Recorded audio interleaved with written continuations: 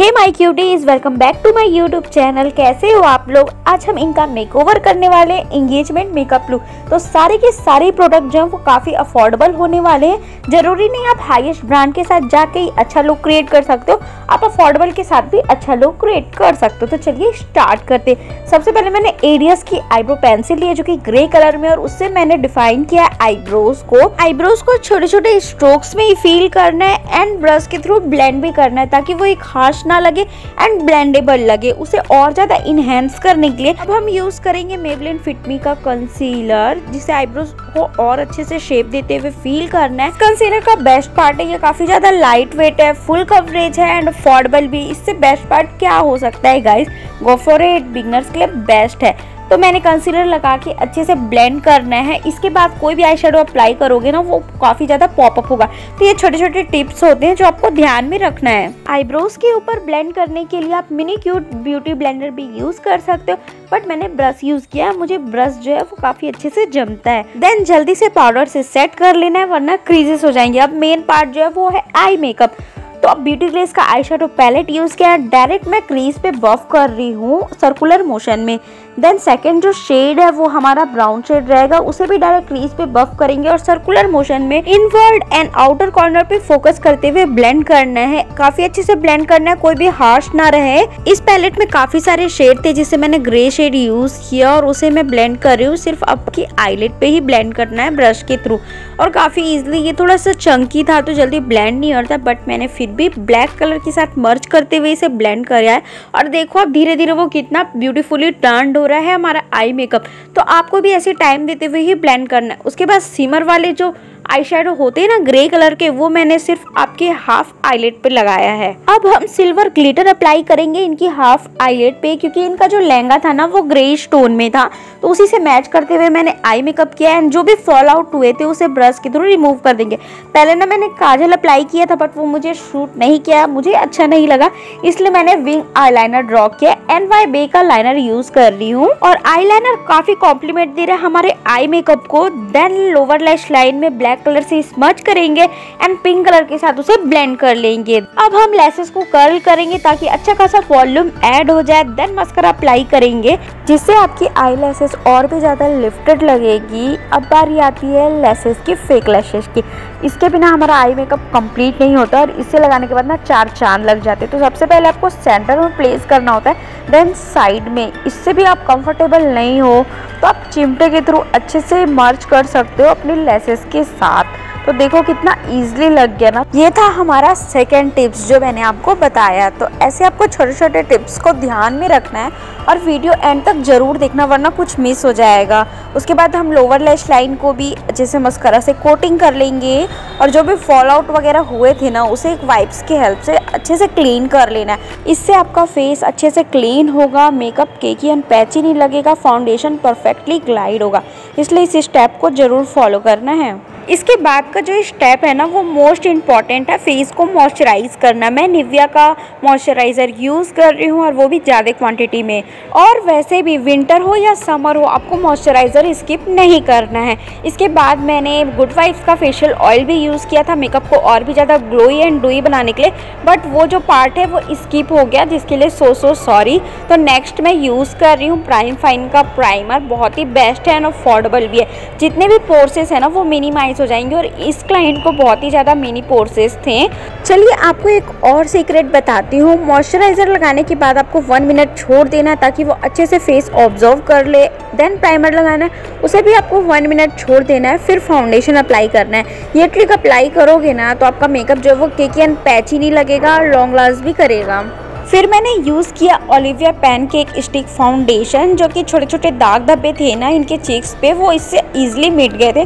कोई भी करेक्टर की ज़रूरत नहीं पड़ी थी। फिर ये मेरी भतीजी अर्स है, जिसके साथ मेरी ब्राइड खेलने लगी थी। इसे दुल्हन बनने का बहुत शौक हो रहा था। मेकअप देखते देखते कि वो मुझे भी मेकअप कराना है तो ये दुल्हन बन गई। चलिए मूव करते हैं मेकअप की तरफ़। अब मैं फाउंडेशन यूज़ कर रही हूँ तो अफोर्डेबल में बेस्ट फाउंडेशन है मेबलिन फिटमी का जिसमें मेरा शेड है 128 वॉर्म न्यूड और कभी भी आपको ब्रश के थ्रू पहले पूरा अप्लाई कर लेना है डॉट डॉट नहीं करना है, वैसे ब्लेंड नहीं होगा। पहले आपको ब्रश के थ्रू ही स्प्रेड करना है देन ब्यूटी ब्लेंडर से ब्लेंड करोगे ना तो काफ़ी ईजिली ब्लेंड होगा, कहीं पे कम, कहीं पे ज़्यादा प्रोडक्ट नहीं लगेगा। और देखिए कितना जल्दी ब्लेंड हो गया पूरे फेस पे और नेक को भी कभी भी स्किप नहीं करना है। आपको नेक पे भी हमेशा अप्लाई करना है, वरना इस फेस का स्किन टोन एंड गले का स्किन टोन वो मिस मैच होगा। तो हमेशा आपको मैच करना है। फिर एक दो शेड लाइटर मैंने कंसीलर यूज़ किया है, जो कि अगेन मेबलिन फिटमी का है ट्वेंटी सेंड है मेरा शेड इसे मैं जो भी हाईएस्ट पॉइंट है ना हाईलाइट करना है, जहाँ पे भी आपको एरिया जैसे आपके अंडर आइज़ हो गया नोज़ हो गया माउथ एरिया हो गया, वहाँ पे मैंने अप्लाई किया है। फटाफट से ब्यूटी ब्लेंडर की हेल्प से ब्लेंड करते जाना और जहाँ पे अप्लाई किया वहीं पर ब्लेंड करना है। पूरा फेस पे स्प्रेड नहीं करना है तो ध्यान रखना, ओके? अभी आपको ब्राइट का फेस थोड़ा वाइट लग रहा होगा बट धीरे धीरे वो ब्लेंड हो जाएगा, स्किन ऑब्ज़र्व कर लेती है ना। तो वो लाइट हो जाता है बाद में तो टेंशन ना लीजिए ओके अब बढ़ते हैं फेस कंटूर की तरफ़, जिससे आपका फेस लिफ्टेड एंड स्लिम लगे। तो ब्रिज ऑफ़ दी नोज़ और आपकी जो डबल चिन होते हैं ना, वो एंड चिक्स को हाइड करने के लिए इसे यूज़ किया जाता है। तो जहाँ जहाँ मैं अप्लाई कर रही हूँ ना, वैसे आपको भी अप्लाई करना है। और थोड़ा सा हम फॉर हेड की तरफ़ भी अप्लाई करेंगे तो चलिए इसे भी ब्रश के थ्रू ब्लेंड कर लेते हैं। और हमेशा आपको ऊपर के डायरेक्शन में ही ब्लेंड करते हुए जाना है कंटोर को नीचे की साइड ब्लेंड नहीं करना है। अगर नीचे की साइड ब्लेंड करोगे ना तो वो काफ़ी बेकार लगते हैं, एक हार्श लाइन क्रिएट हो जाता है। इसलिए आपको इस डायरेक्शन में ब्लेंड करना है ताकि वो ब्लेंडेबल लगे और मैंने काफ़ी लाइट कंटोर किया है। आप देख सकते हैं नोज़ को थोड़ा मैंने हाई कंटोर किया है। जिससे इनकी नोज़ और भी ज़्यादा स्लिम लगेगी और प्रॉपर शेप में लगेगी। इसलिए अच्छे से कंटोर करना है आपको। अब हम ब्राइट को ब्लश लगाएँगे फ्लश और पिंक इफ़ेक्ट आने के लिए जो कि ब्राइट पे काफ़ी प्यारा लगता है। और मेरे पास कोई भी क्रीम ब्लश नहीं था तो मैंने लिपस्टिक ही यूज़ किया है एज ए ब्लश और कितना ब्यूटीफुल टर्न हो रहा है। ब्लेंड होने के बाद थोड़ा सा नोज़ पे एंड चिन पे भी अप्लाई करेंगे, जिससे काफ़ी प्यारा सा क्यूट लुक होगा और क्यूट लुकिंग गर्ल्स बहुत प्यारी लगती है यू नो उसके बाद बेक करेंगे। बेक नहीं करना है, ठंड चल रही है, आप कॉम्पैक्ट से सेट कर सकते हो। मैं एडीएस का कॉम्पैक्ट यूज़ कर रही हूँ। सबसे पहले आपको अंडर आइज़ को सेट करना है, क्योंकि यहाँ पे क्रीजेस के ज़्यादा चांसेस होते हैं। और हल्का सा ही सेट करना है ठंड में, नहीं तो काफ़ी ज़्यादा ड्राई हो जाएगा आपका फेस उसके बाद पूरे पाउडर को आप सेट कर लो देन रिमूव कर लो, ताकि आपका मेकअप काफ़ी सटल लगे पाउडरी पाउडरी ना लगे. तो इस चीज़ का भी आपको ध्यान रखना है, ज़्यादा पाउडर अप्लाई नहीं करना और अच्छे से ब्लेंड कर देना. और हाँ नेक को स्किप नहीं करना है गाइज़ सो पाउडर से तो सेट हो गया हमारा फेस अब चलिए आगे बढ़ते हैं. तो मेकअप फिक्सर यूज़ कर रही हूँ मैं ब्लू हेवन का मेकअप को लॉन्ग लास्ट बनाने के लिए. उसे ड्राई कर लेंगे. ड्राई होने के बाद मैं बहुत ही अफोर्डेबल सा प्रोडक्ट यूज़ कर रही हूँ. वो है हिलरी हुडा का.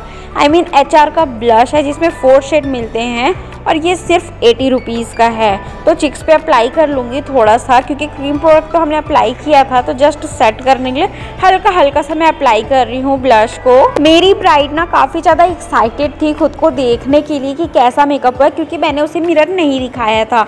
उसके बाद हाइलाइटर अप्लाई करेंगे फेस को हाईलाइट करने के लिए, जो भी आपके हाईएस्ट पॉइंट है। तो मैं काफ़ी अफोर्डेबल सा हाईलाइटर यूज़ कर रही हूँ, ये है मार्स का, जिसमें आपको फोर शेड अवेलेबल मिलते हैं।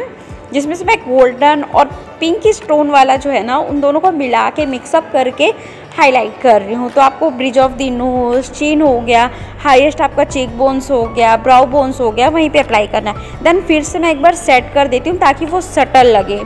अब हम ब्राउ बोन्स को हाईलाइट करेंगे। इसका ये फ़ायदा है कि आपकी ब्राउज जो है, वो हाईएस्ट लगेगी, उठी हुई लगेगी, जिससे काफ़ी परफेक्ट शेप आता है और वो हाईलाइट भी होगी। और इनर कॉर्नर को हाईलाइट करने का ये फ़ायदा है कि आपकी आईज जो है वो थोड़ी बिगर लगेगी। हमारा आई मेकअप जो है वो काफ़ी शिमरी इफ़ेक्ट वाला है तो लिप्स को हम सटल रखेंगे। हमेशा आप ये देखिएगा, अगर आप आईज ज़्यादा डार्कर कर रहे हो या ग्लिटर कर रहे हो तो अपने लिप्स को शटल ही रखना। तो मैं न्यूड पिंक शेड यूज़ कर रही हूँ, जो कि काफ़ी कॉम्प्लीमेंट दे रहा है इस मेकअप को। Guys my makeup is done देखो कितना प्यारा और सटल और ग्लोई लग रहा है ना, कुछ भी उभर के नहीं आ रहा है। मैंने ना इनका मांग टीका जो है वो माथा पट्टी के साथ वियर करवाया था और आगे से कर्ल किया था, पीछे से हेयर को स्ट्रेट किया था, जो कि काफ़ी सूट कर रहा था और ये कितनी प्यारी लग रही है ना। इंगेजमेंट के हिसाब से परफेक्ट मेकअप हुआ है। और मेरी ब्राइड काफ़ी खुश थी इस मेकअप से। काफ़ी प्यारा लग रहा था उनके ऊपर ये मेकअप और मैं उनको ना ये पोजेस देने बोल रही थी जो कि उनके से नहीं हो पा रहा था तो वो काफ़ी हंस रही थी मतलब ब्लश कर रही थी। सो थोड़े मोड़े शॉर्ट्स हमने लेने की कोशिश किए हैं, काफ़ी प्यारे आए हैं और ब्राइड भी काफ़ी खुश है।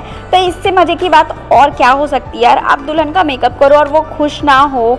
तो कोई मज़ा नहीं आएगा ना। तो मेरी ब्राइड काफ़ी खुश थी और ये जो नेकलेस सेट है ना, वो मीशो का है। तो ये भी अफोर्डेबल है। सो गाइज़ फाइनल लुक कैसा लगा?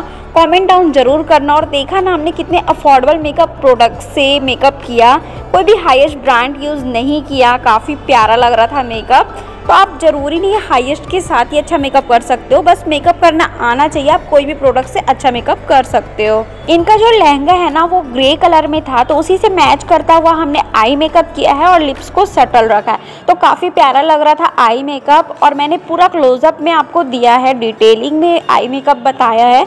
और अभी ब्राइडल सीज़न चल रहा है तो और भी ऐसी ब्राइडल मेकअप देखना चाहते हो तो कमेंट डाउन करना। और हाँ वीडियो अच्छी लगी तो वीडियो को लाइक और चैनल को सब्सक्राइब करना मत भूलना। और भी ऐसी इंटरेस्टिंग वीडियो के लिए सब्सक्राइब फॉर मोर मिलते हैं नेक्स्ट वीडियो में बाय